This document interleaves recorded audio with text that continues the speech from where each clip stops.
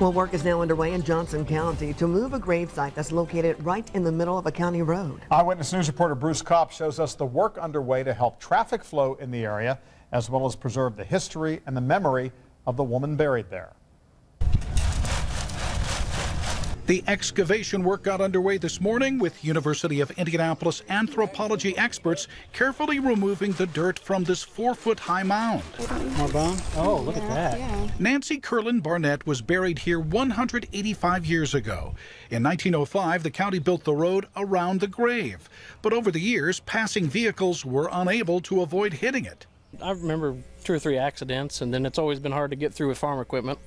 So they want to preserve its location, but because it sits so high above grade, um, it's a hazard both to drivers and to the remains themselves.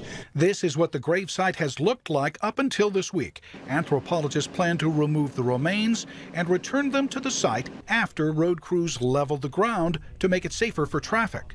When it's done, the grave will be uh, under the ground, uh, about two feet or so, I believe, is the, the standard.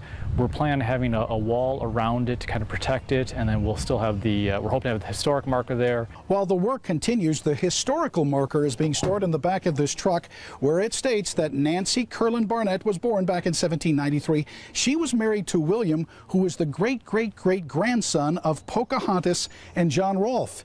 It also states that her grandson stood by her grave with his gun while the county relocated this cemetery in order to build the road. Well, this is just such an important part of early Johnson County history. Um, Nancy was one of the early pioneers of Johnson County. As far as we know, it's the only grave on the road like that in Indiana. Um, that's the first time I've worked in the middle of a road before.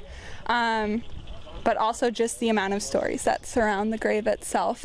Hopefully at the end, the families of the deceased is happy with where everything looks at and all the history still remains there and the final roadway is wide enough for modern day farm equipment to get through.